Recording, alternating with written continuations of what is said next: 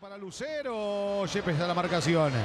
Pero la dejó corta y se viene, atención, peligrosamente Riaño y está Lucero para el segundo, Lucero, penal. Penal para Independiente, lo que complicó el pase de Yepes atrás. Lo que complicó el pase corto de Yepes atrás. Hay penal contra Lucero, señores, penal para Independiente, penal para el Rojo. Y amarilla para Torrico.